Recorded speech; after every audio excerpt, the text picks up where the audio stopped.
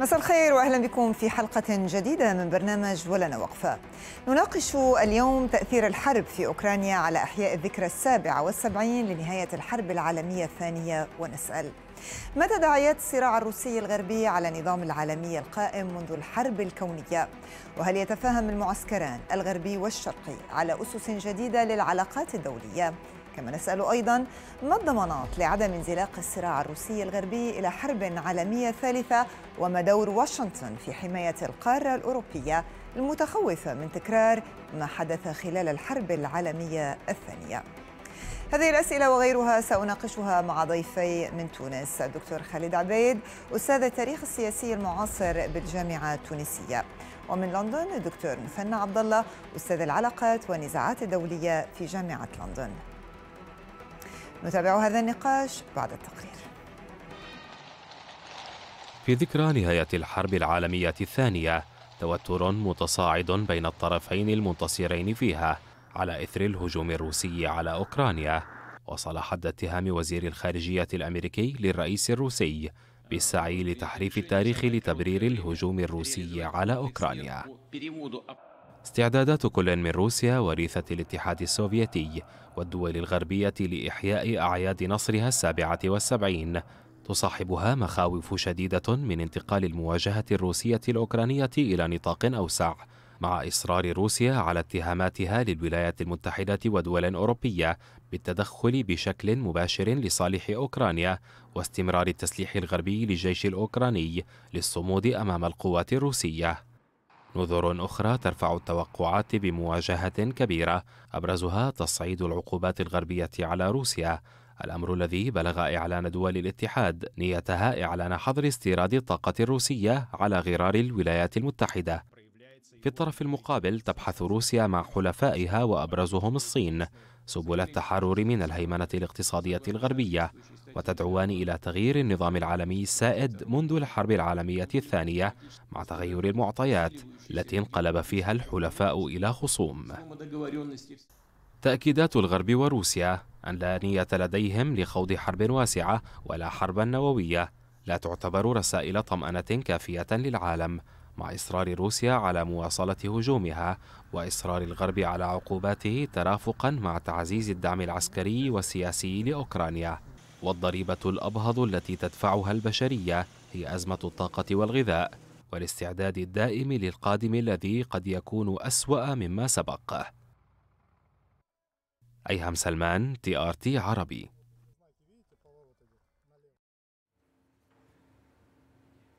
إذا أبدأ نقاش هذه الحلقة معك دكتور خالد عبيد مساء الخير من جديد ودعني أبدأ من كلمة فلاديمير بوتين اليوم عشية ذكرى التاسع من مايو يقول كما في العام 1945 النصر سيكون لنا كيف يختلف برأيك مفهوم النصر بالنسبة لموسكو بين الأمس واليوم؟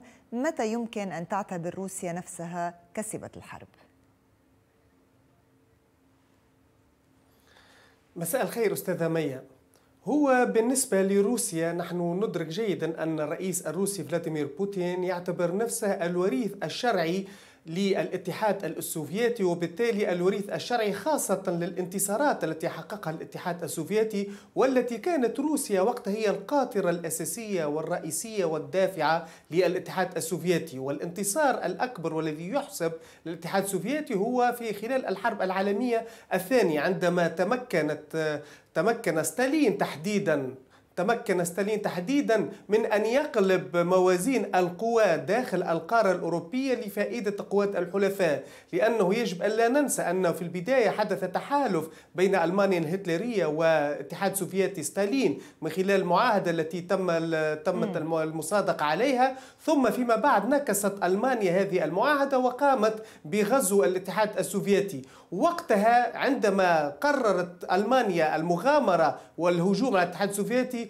وقتها بدأت صحيح. الحرب العالمية الثانية تدرك نهاياتها باعتبار أن المسألة لا يمكن أن تكون كذلك هذه المقاربة أو المقارنة التي يقوم بها بوتين الآن هو يريد أن يؤكد من خلالها على أن روسيا هي امتداد للاتحاد السوفيتي وأن النصر الذي حقق في الحرب العالمية الثانية هذا وما كان ليحقق ولكن ما, ما هي الحدود التي يعتبر نعم. عندها بوتين أنه كسب الحرب. هل آه، الفوز في الشرق الأوكراني هل إخضاع أوكرانيا بكاملها؟ متى ما هي النقطة التي يمكن أن يعتبر فيها أنه كسب هذه الحرب؟ النقطة التي يعتبر فيها كسب الحرب عندما يتمكن من تحقيق ما يريد تحقيقه في أوكرانيا. ما يريد تحقيقه في أوكرانيا هو أن لا تصبح أوكرانيا دولة تابعة للحلف الأطلسي. أن تنتهي مطامع الحلف الأطلسي وفق وجهة نظره في أوكرانيا. وأن يصبح الشرق الأوكراني على الأقل شرقا تابعا لروسيا أو تحت المجال الحيوي لروسيا. والأهم من كل ذلك تفكيك أوكرانيا حتى لا تصبح دولة قادرة على أن تكون خطر خطرا قادما لروسيا في المستقبل الأيام أو السنوات. هذا هو ما يريد بوتين والأهم من كل ذلك أيضا المحافظة على المصالح الاستراتيجية لروسيا داخل بحر بحر أزال بحر أزوف وبحر أيضا بحر الأسود عظيم. هذه نقاط طيب. هامة جدا لأن روسيا منذ القدم تعتبر الذهاب أو الوصول إلى البحار الدافئة وتحديدا البحر الأبيض المتوسط أمر لا يمكن التجاوز ولا يمكن السماح لأي كان بأن يمنعها من طيب. ذلك دكتور مثنى عبد الله يعني ماذا عن محور واشنطن أوروبا هل اكتفاء اكتفاء بوتين بالشرق الأوكراني بضمان عدم دخول أوكرانيا إلى الناتو في حال في حال انتهت الحرب عند هذا السيناريو دون كامل أوكرانيا هل سينظر إليه هزيمة بالنسبة لمحور الغرب أم نصر لبوتين؟ يعني يجب أن نعرف بأنه في الحقيقة الحرب الأوكرانية أنا في رأيي الشخصي أنه تم الإعداد لها آه، مسبقا يعني لم تكن حدثا التحقت به الولايات المتحدة الأمريكية أو التحق به الغرب م. أنا أرى بأنه الولايات المتحدة الأمريكية قد أعدت عدتها لهذه الحرب قبل فترة طويلة وهنالك معلومات عسكرية واستخباراتية تقول بأنه الولايات المتحدة راهنت على مجاميع وفصائل هي لم لم ترد أن تدخل الحرب بصورة مباشرة لكنه حاولت الاعتماد على فصائل وهذه الفصائل بأسلحة فردية قد تعيق التقدم الروسي والهدف الأساسي من وراء ذلك هو إطالة فترة الحرب لأنها طيب. كانت تراهن على أن إطالة فترة الحرب هو هو صنع مستنقع آخر كالمستنقع الأفغاني وبذلك تغوص روسيا في هذا المستنقع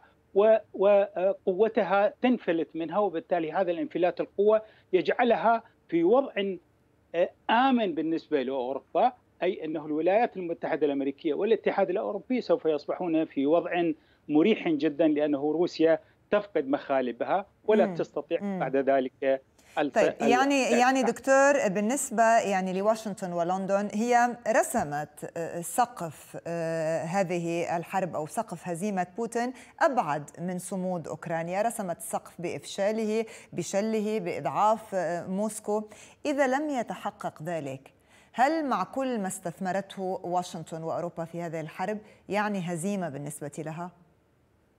يعني أعتقد بأنه يعني لا نستطيع القول بأنه على أنه هزيمة لها، لكنه سيدتي تعرفين جيدا بأن هذه الحرب في الحقيقة آه، آه، آه، كانت فيها خسائر في الحقيقة كبيرة لروسيا، خسائر على مستوى الأفراد وخسائر على مستوى المعدات وبالتالي حتى الإطار الذي يحيط بروسيا اليوم كما تعرفين جيدا بأنه هنالك دول بدأت تذهب إلى النيتو يعني ما ما كانت تريده روسيا من حيادية أوكرانيا في الحقيقة انقلب عليها. اليوم نجد بأنه آه، بقية الدول حتى الدول الأخرى التي لم لم تكن لديها مشاكل مع روسيا اليوم بدأت تذهب مهرولة إلى الناتو. اذا هذا هذا هذا ما كانت تريده الولايات طيب. المتحدة الأمريكية دعني بهذا نعم دعني دكتور أعود إليك في هذه المسألة لأننا سنفصل فيها من أكثر من زاوية ولكن أعود للدكتور خالد عبيد دكتور السؤال الآن هل أدخلتنا أوكرانيا فعلا في حرب عالمية ثالثة وإن لم تتطور إلى عسكرية بالفعل يعني اتخذت أي شكل آخر الحرب الباردة الحرب الاقتصادية هل نحن الآن دخلنا في حرب عالمية ثالثة؟ سؤالك وجيه جدا. نحن نعتقد وسبق أن ذكرناه حتى في الإبان بأن تاريخ الغزو الروسي لأوكرانيا يعتبر تاريخ بداية حرب باردة لكن حرب باردة من نوع جديد. السؤال الذي يسأل هل أننا في هذه الحرب الباردة سنصل إلى ما يسمى بالحرب العالمية الثالثة مثل ما حدث في الحرب العالمية الأولى والثانية. أم لا؟ هذا هو السؤال الذي يسأل. المسألة الآن مرتبطة بمدى قدرة كل الأطراف على ضبط النفس خاصة هنا حلف الناتو وكذلك روسيا. الحرب الباردة التي نعيشها الآن ليست ذات الحرب الباردة التي عشناها من قبل طيلة أكثر من حوالي من 1947 إلى حد 1990 هذه الحرب الباردة الآن تقوم على أساس معطى آخر أساسي من قبل قامت على أساس ما سمي بالستار الحديدي. يجب أن لا ننسى أن أول من استعمل كلمة الستار الحديدي أو ومنها أصبحت كلمة الحرب الباردة هو رئيس الوزراء تشرشل.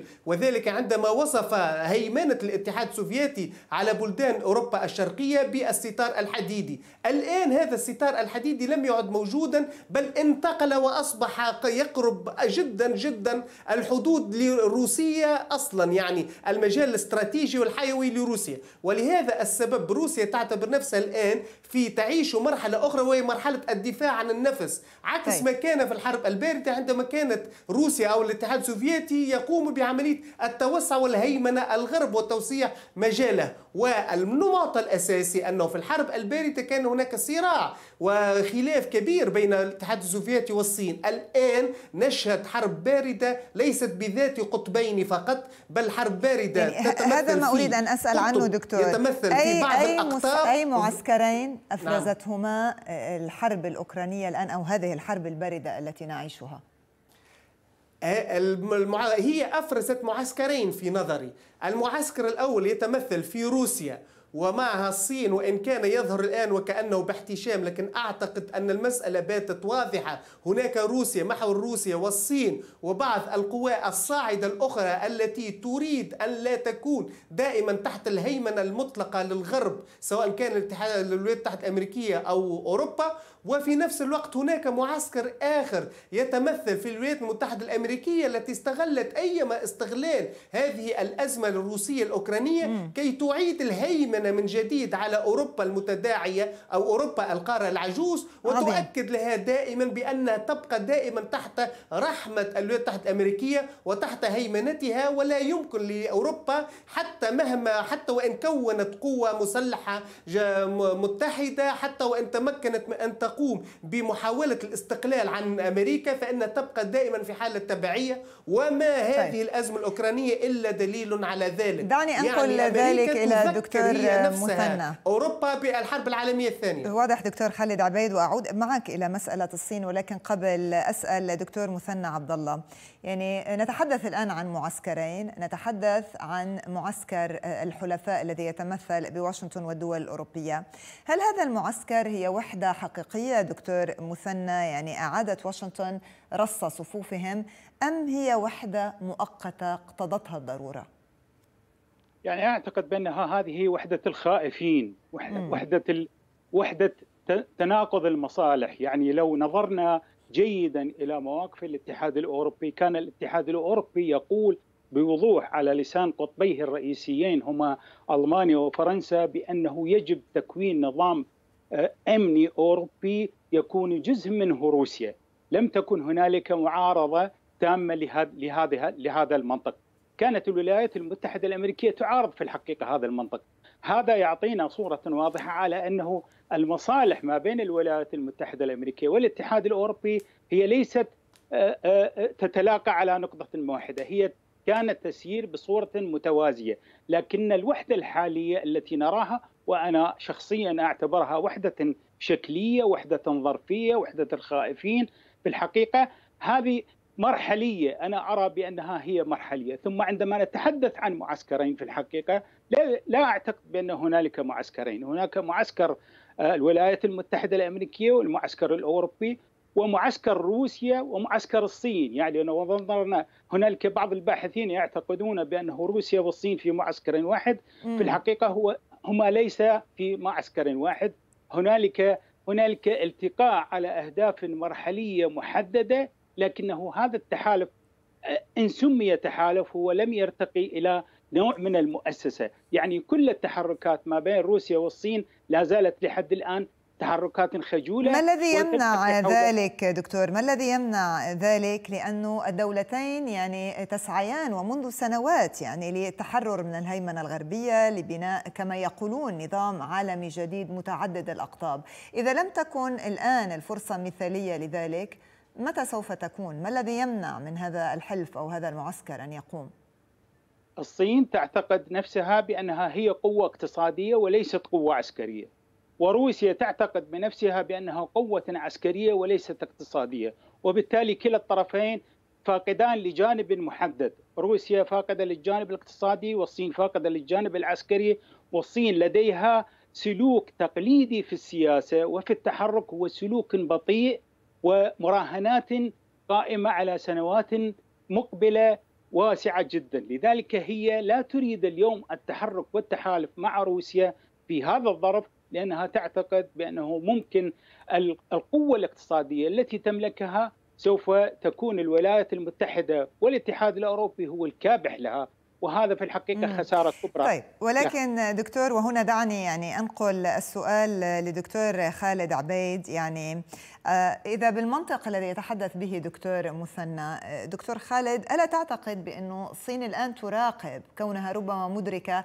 بأنها هي التاليه بعد روسيا في حال تمكنت واشنطن من تحقيق أهدافها التي تطمح إليها مع روسيا؟ سيأتي دور الصين لأنه آه، بايدن يعني منذ بداية عهده جاهر بأنه تطلعاته وكل أهدافه موجهة صوب الصين. الصين الآن تراقب كيف يمكن أن تراجع اقتصاديا وسياسيا وعسكريا وأن تتحضر ربما لمرحلة لاحقة من الممارسات الأمريكية إذا سميناها.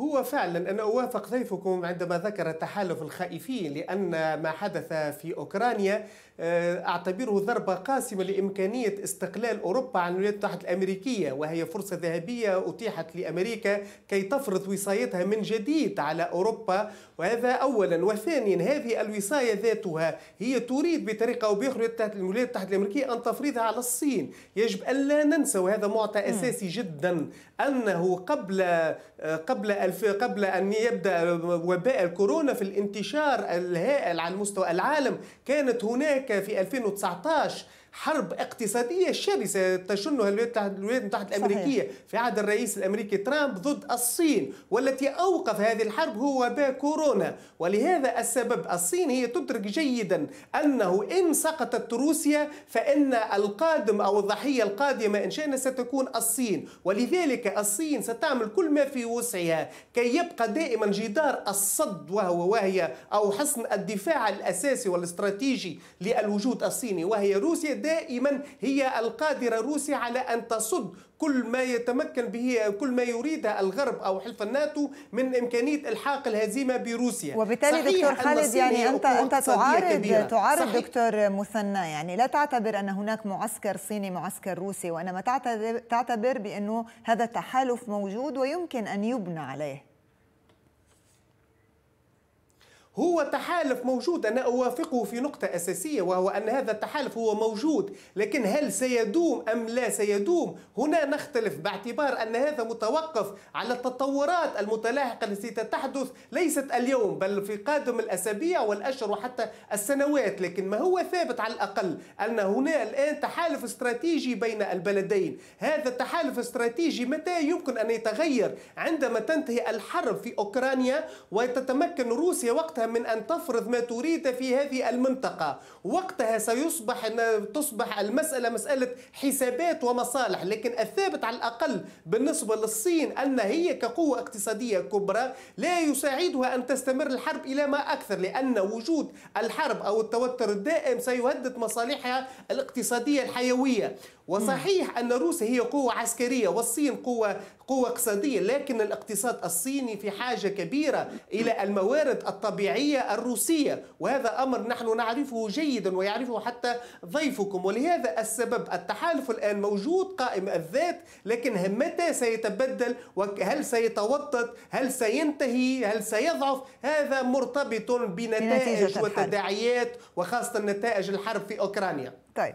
دكتور مثنى يعني في حال انتهت هذه الحرب ونحن نتحدث يعني عما بعد حرب أوكرانيا ليس كما قبلها لجهة ربما إعادة التموضع توزيع الأدوار دور الأقطاب أعود معك إلى نقطة تحالف الخائفين بالنسبة للناتو وأوروبا. ماذا إذا بدأت القوات الأوكرانية تخسر الحرب بالفعل؟ وهناك حقيقة يعني تقدم ولو بطيء للقوات الروسية في المدن الاستراتيجية. كيف سينعكس كل ذلك على هذا التحالف الهش إذا صح التعبير خاصة عندما يبدأ تقاذف المسؤوليات الخطاب التحريضي من واشنطن وبريطانيا تبعات الاقتصادية الصعبة التي ستعيشها أوروبا من تضخم ولاجئين وغيره هل سنرى تفكك هنا انقسام يرتد سلبا؟ يعني يعني الفرضية التي ذهبت بها سيدتي أنا أتفق معها تماما وأقول بأنه أكاد أجزم بأنه أوروبا اليوم تتمنى أن تخسر أوكرانيا الحرب يوم غد صباحا. لماذا؟ لأنه في الحقيقة الضغط الاقتصادي والضغط السياسي والضغط العسكري والمليارات التي ذهبت في في عقود مع بالمناسبة الولايات المتحدة الأمريكية وقعت عقود غاز وعقود أسلحة بمليارات الدولارات مع أوروبا بينما كانت أوروبا مستغنيه عن كل هذا وكانت أموالها آه، في في جيبها كما يقولون. اذا أقول بأنه أوروبا في الحقيقة تتمنى أن تنتهي الحرب يوم غد وتتمنى إن كان نهاية هذه الحرب سواء في خسارة أوكرانيا أو غيرها، لكن تعتقد بأنه خسارة أوكرانيا في الحقيقة للحرب سوف آه، يفرش آه، مائدة التفاوض بين جميع الأطراف والتفاوض سوف يكون في أوروبا ولن يكون في في في مكان آخر. المراهنة على التفاوض مع روسيا كان هو الخيار الرئيسي والاستراتيجي لأوروبا، لكن الولايات المتحدة الأمريكية وبريطانيا بالذات هما من قاد إلى هذا الموضوع وهما من أخذ بأوكرانيا ووضعاها منصة صحيح. للصراع طيب بالتالي دكتور وباختصار شديد لأنه على نفس السؤال أريد أن أسمع رأي الدكتور أيضا خالد عبيد. بالتالي بعد هذه الحرب كيف يعني ستكون ملامح آه، ما ستفرزه هذه هذه الحرب على صعيد النظام العالمي الجديد؟ ودعني هنا أسأل عما يعرف ربما بالقوى الوسطى وليس فقط الأقطاب. يعني رأينا دول التزمت ربما الحياد تجاه هذه الحرب. نتحدث عن الدور التركي على سبيل المثال نتحدث عن الدور الهندي. سيدتي السؤال لي. فعلا نعم. هذا ما اسميته السؤال لك وأريد أن أختم. يعني أسمع رأي الدكتور خالد بعد ما تتفضل حضرتك دكتور مثنى تفضل. يعني اولا دعيني أقول وباختصار شديد بأن الحرب الأوكرانية تأجلت لثلاثة عقود انهيار الاتحاد السوفيتي عام 1989 وبروز احادي القطبية النظام الدولي الإحادي القطبي الجديد. هذه الظاهرة هي الظاهرة الوحيدة التي انتهت بدون حرب.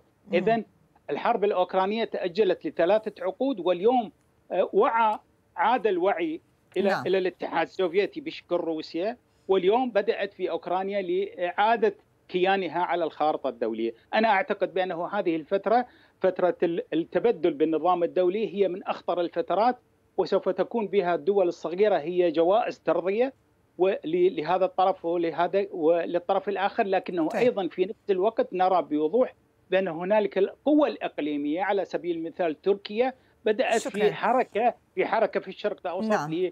دكتور خالد دكتور خالد أيضا رأيك وتحديدا عن الدول التي ذكرناها فعلا أن نحن سبق أن ذكرنا بأن نحن نعيش حرب باردة بأقطاب متعددة. انتهت القطبية الأحادية للولايات المتحدة الأمريكية مع بداية الحرب في أوكرانيا. ما يشهده العالم الآن هو حرب باردة بأقطاب متعددة وسبق أن ذكرت حتى معك بأن هناك قوى صاعدة. هذه القوى الصاعدة هي الهند تركيا البرازيل وهذه وحتى جنوب أفريقيا. هذه القوى هي التي تريد وحتى بعض الدول الخليجية التي تريد أن تتموقع على أساس أنها يكون لديها حياد وأنها تصطف اصطفافا أعمى مع الولايات المتحدة الأمريكية أو حتى مع روسيا مثل ما تقوم به أوروبا. الخاسر الأكبر في كل ما يحدث الآن هي أوروبا وليست روسيا أو الولايات المتحدة الأمريكية. والصين ستكون الرابح الأكبر بالرغم من أن أمريكا تريد أن تحرك لها دائما ملف شبه جزيرة فورموزا أو تايوان لكن الصين هي المستفيد الأكبر. أوروبا الضحية الخاسر الأكبر أمريكا ستستفيد لكن بأقل روسيا ستخرج حتى وإن ستكون ستخرج بأقل الخسائر لكن ستخرج هي التي ستفرض وجهة نظرها والقوى الصاعدة ستجد نفسها بطريقة أو بأخرى تلعب دور الحكم من أجل إقامة توازن حقيقي على مستوى الخارطة الجيوستراتيجية العالمية. أنا أشكركم جزيلا دكتور خالد عبيد أستاذ التاريخ السياسي المعاصر بالجامعة التونسية. وأشكر أيضا من لندن دكتور مثنى عبد الله أستاذ العلاقات والنزاعات الدولية في جامعة لندن. وأشكركم مشاهدينا على حسن المتابعة. إلى اللقاء.